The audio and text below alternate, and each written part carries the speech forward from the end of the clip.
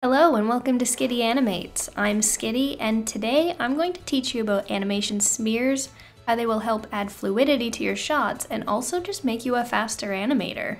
So let's get started. A smear is like an animator's cheat sheet for a motion blur. It's used to emphasize an action in a way the audience will believe without actually seeing it. In fact, if you pause an animation on the smear frame, it's probably going to look distorted and ugly. Think of it as an implied action linking the two poses. As a general rule, your poses are much more important than how you transition between them. The poses are what we linger on for the audience to connect with. Smearing just uses this to our advantage. If the audience is only going to feel an action, we no longer have to be worried about things like weight distribution, balance, or feet locking. So now let's talk about how you would actually go about making a smear. Once you have your beginning and end poses done, adding a smear is basically just being playful with your spacing. I'll link to a past tutorial in the description if you need a refresher on spacing and overlap, but for the sake of brevity, spacing refers to the size of the gaps in between poses, which in turn reflects the timing of the action. As you can see here in this example of Mushu from Mulan, we have two arcs of which the action is moving on. We have one tracking his nose and another one tracking what's in his hand. You can also notice that both arcs have a smear on them. Following the blue motion trail which is on his nose, you can see that there's a huge gap between frame 6 and frame 8, so frame 7 is used as their main smear pose. What the smear is doing is bridging the gap between the two points. Without it, the action might feel too snappy. The same can be said about his hand trail, but the gap is large enough that it uses two smear frames on frames 4 and 5. When putting an arc on a character's head, the most important thing to track is the nose. As you can see in this example, he's doing it perfectly. In traditional animation, there is a lot more freedom to distort or blend features together because they aren't limited by a rig. It's quite common in traditional animation to have a character's eyes drawn as one giant eye blob on a smear frame and other deformities like that. The majority of 3D rigs, we are limited to smearing with squash and stretch type controllers. Be careful with this mindset though. A common misconception about smears is that they are very close to, if not the same as squash and stretch, but they're actually total opposites. If you were to squish the top of a ball on a ball bounce, you would have to expand the sides in order to keep the object's mass. Smears, on the other hand, is all about breaking that mass for a frame or two to emphasize an impact. For this example, I have two poses of Kayla hitting a punching bag. I'm going to add the most common type of smear for 3D, which is the dragging smear. A dragging smear is when the object moves forward but stretches to leave parts of the object behind. Now before you start doing your posing on your smear, you're going to want to turn on ghosting or onion skin or any other sort of comparable tool depending on your program in order to show your start and end positions while you're posing. So what I've done here is added motion trails the controls that are the most important to track for the arcs. So we have a small one down here for the hip control. We have a wide one here for the wrist. We have another small one here for the elbow to show how far back it's going to go. And I also have one here on the nose because it's very important to see if the head's doing anything a little janky. And the great thing about motion trails is that if you scrub through the time slider, you can see it's changing color to show you where that frame lands on the trail. So I have our key poses here on frame 10 and on frame 13. And the biggest gap here in the spacing is between frame 11 and 12, which makes me think that the smear frame should be on frame 11, because we're gonna use the smear to bridge that gap. But before we do anything to smooth that out, the first thing that I need to do is adjust the hips because the hips are currently moving in a straight line followed by a straight line. And if I smooth that out after I work on the arm, then everything that we did for the arm is going to have to be tweaked again later. So this is just to save us from counter animating later.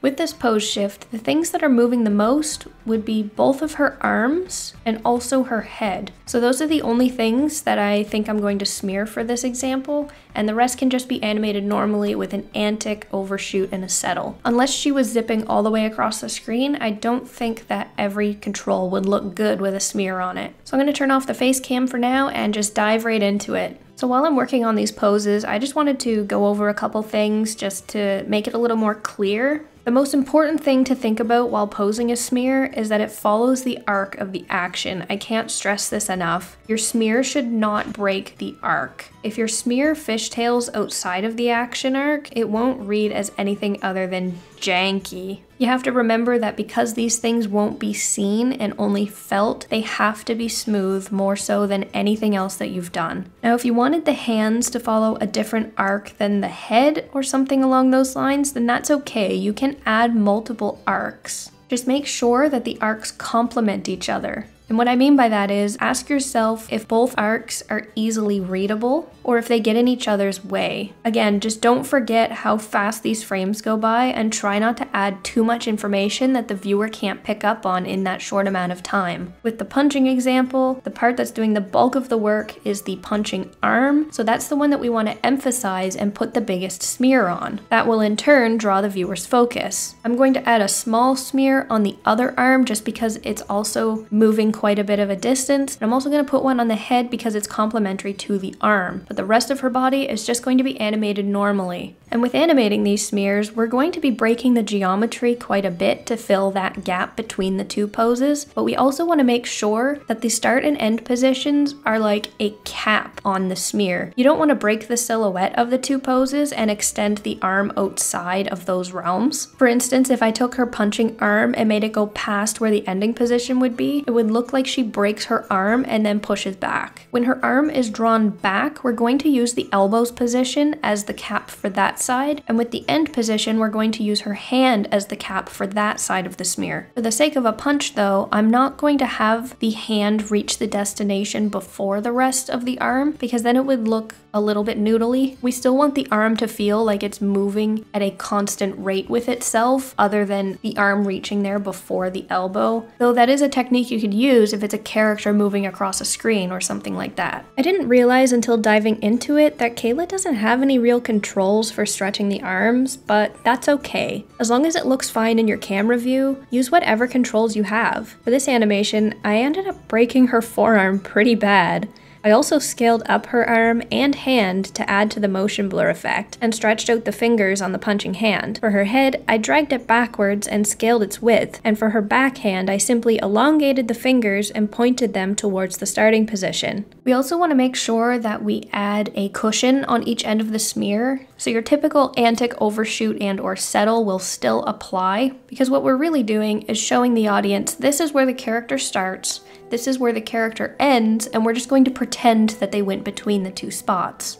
In order for that to read like a complete action, we really need to emphasize the beginning of the pose and the end of the pose. If you think of the example of a character about to run off screen, a lot of the time in old cartoons you will see that the character really winds up for a really exaggerated antic before shooting across the screen in one or two frames. That was that animation's cushion to make it more believable. If you don't add the settle after the character's action, it will feel like the character slammed into a brick wall or got hit by a bus. Morbid, I know, but it's just as jarring. You can also play with varying the intensity of your smear. If the head doesn't travel as far as the arms, but it's still enough of a gap that you should probably fill that space, then you can try just putting a smaller smear on the head than you do on the arm. If the arm is moving more distance, then it probably warrants having more focus on it anyway, so the bigger smear there will make it better.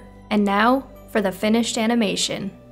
So as you can see here, we have our big antic windup, and then our smear and also a recoil at the end and our settle. Looking at the yellow here, you can see the huge gap that the punching arm makes up with with the smear. You can see the back arm in blue is arcing up and then arcing back down. And in green, you can see that the head arcs back, mirrors forward, and then recoils and settles. This obviously isn't the most polished animation in the world, but it was about 15 minutes for the poses, about 25 minutes to animate the smear and the polish, for a total of about 40 minutes of animating. Now I just want to touch on another type of smear called multiples or duplicating smear, depending who you're talking to. Multiples is when you smear your poses together by using duplicates of the object or limb. So in a sword swing, you would add multiple swords to that smear frame, or in a dramatic hand wipe, you could have multiple hands or arms, sometimes referred to as hero arms, but only for that one frame. I also just want to say that when learning how to animate smears, it can be really fun and exciting to implement them, but I just want to warn against using them all the time. A smear shouldn't be used in every shot. Wait for the bigger actions that need a harder impact. Anything that's overused, I mean this applies to animation or not, it loses its meaning and its impact. So it's better just to keep it as an ace card up your sleeve for that right moment.